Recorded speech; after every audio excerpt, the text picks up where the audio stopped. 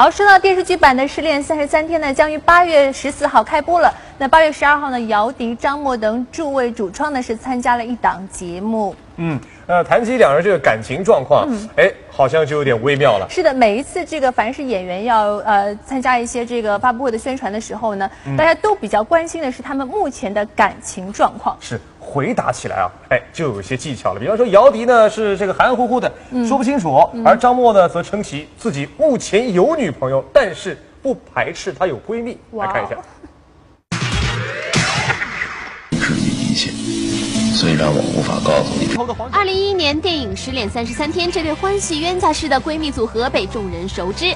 时隔两年，电视剧版《失恋三十三天》也备受关注。八月十二号，由姚笛、张默主演的电视剧版《失恋三十三天》在北京录制了一档卫视特别节目。前段时间传言姚笛与任重疑似假戏真做，不过在当天问及感情状况时，姚笛也在开玩笑说，表明自己已经单身。当然有了。那男朋友会追你吗？啊，男朋友。不知道男朋友什么意思啊？男性朋友。哎，不能再问，晕倒了，走走走快快热。与姚笛相比，张默就显得大度很多，并且表示并不排斥女闺蜜。我没有女闺蜜，不会的。不会。对，谁都有朋友。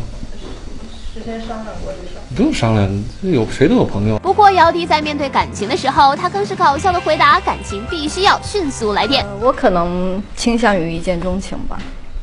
就日久生情，基本上也生不出来了。《失恋三十三天》，不论是电影版还是电视剧版，都是讲述的闺蜜之间的那些奇葩的搞笑桥段。不过这次电视剧版与电影版又有什么不同呢？说不定这蘑菇头会火，我觉得。啊，因为我看那个什么，那个那个泰囧的时候，我看王宝强好像也是这个头发。我说，哎，这不是我的那个头发吗？蘑菇头姚笛，宝宝的发型配上姚笛的脸，又会是怎样一个造型呢？